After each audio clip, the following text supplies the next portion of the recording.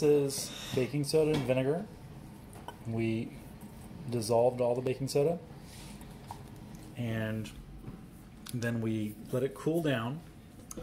And now it's in a liquid form. We're going to pour it onto this stuff that's hardened. This is the, the same stuff, it's just cooled down and hardened.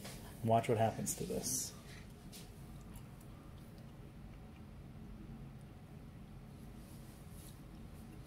Ugh. Wait, what? It's like wax almost. That What? it's called hot ice. Wow. Can touch it? And then Hold on. so it immediately hardens.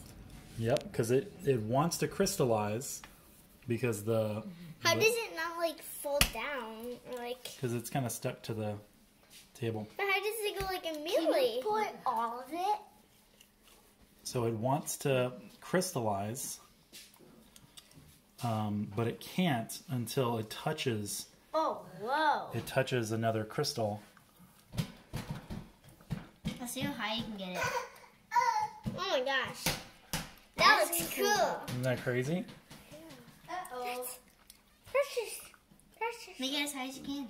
You dropped some, and it like froze right away Yep. because it touched another one. Oh my gosh, how high is it gonna go? It'll just keep going. Oh my gosh. You can make like oh! oh, wait. Make pour it and make it connect this way. Here, hold on. Watch this. Watch this. Make like a bridge. This. So if I do it right, it'll actually crystallize into the container. What? That's so cool. You can feel it. happens?